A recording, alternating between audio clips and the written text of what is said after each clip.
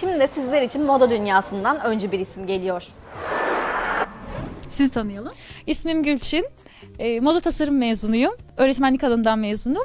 Ama dedim ki ben Yalova halkına hizmet edeyim. Sevdiğim işi de yapayım. Geldim Yalova'ya bir butik açtım. Çok da güzel yapmışsınız. Tebrik ediyoruz. Peki firmanın kuruluş hikayesini dinledik sizlerden. Biraz da ürünlerimize geçelim. Ürün çeşitlerimiz nelerdir? Buraya gelen müşterilerimiz, misafirlerimiz burada ne gibi çeşitler bulabilecek?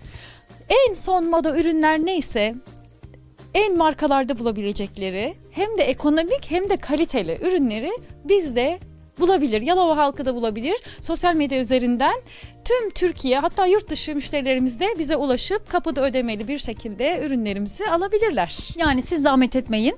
Sadece internetten sipariş verin. Sipariş bizler size verin. ulaştıralım. Beden konusunda yardımcıyız ve ürünlerimiz görselleriyle yüzde yüz aynıdır.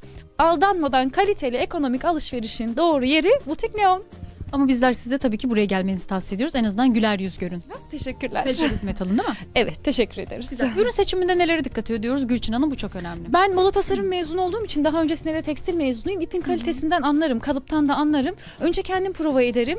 Kalıbı düzgün mü ve kumaş kalitesine bakarım ve en son moda olanı te- almayı tercih ederim. Yani seçmeyi tercih ederim mağazamıza gelmesi için.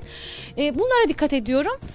Geliyor ürünler çok da güzel kombinler de çıkartıyoruz. Yani müşteri bize gelsin desin ki ben düğüne gidiyorum, yemeğe gidiyorum. Her nereye gidiyorsa biz onun proporsiyonuna uygun olarak mesleki eğitimimin de katkılarıyla bana e, proporsiyona uygun olarak mis gibi kombinler hazırlıyoruz. Makyaj, saç önerisi de, ayakkabı önerisi de veriyoruz. E tabii ki bir de güzel güzel giyindiğiniz zaman ki biz bayanlar güzel giyindiğimiz zaman ve alışveriş yaptığımız zaman özellikle kıyafet aldığımız zaman zaten o o zaman keyfimiz yükseliyor. Sözü buradan alıp merkez stüdyolarına aktarıyoruz.